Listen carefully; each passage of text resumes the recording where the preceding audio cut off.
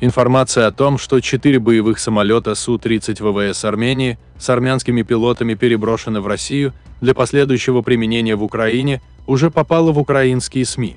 Первоначально же об этом сообщил турецкий телеканал Хабер Global.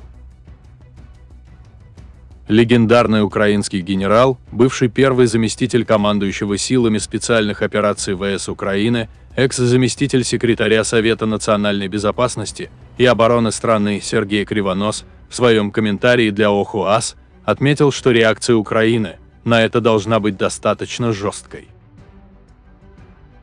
Первое.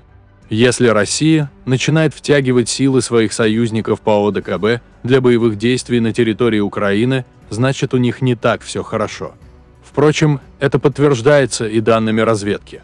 Но расслабляться нам, конечно же, не стоит, они еще достаточно сильны, хотя стратегические ресурсы исчерпаны. Второе.